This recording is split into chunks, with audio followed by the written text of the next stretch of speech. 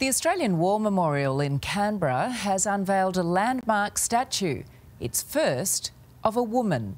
Nurse Vivian Bullwinkel was the sole survivor of a World War II atrocity and now stands as a symbol for the sacrifice of every woman sent to the battlefield.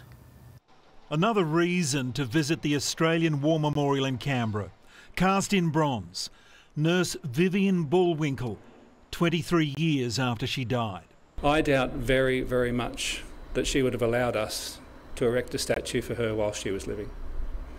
Because this is a woman who dedicated her life not to herself and not to her memory, but to the memory of others. The legend of Vivian Bullwinkel was born February 16, 1942, on this beach on Indonesia's Bangka Island.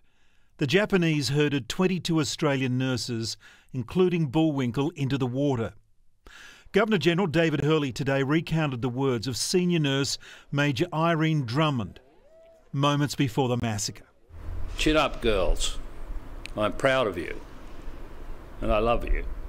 Bullwinkel was shot, but she survived by playing dead. As described by Vivian to the Age newspaper in 1945, as we were thigh deep in the surf, they opened murderous fire, mowing us down like a scene I saw in a film as a child three years as a POW, then a stellar nursing career. In 1992, she went back to the island to remember her colleagues who never came home. To me, they've come home. Yeah, you know, right. I can't think of the, you know, I can think of them here now.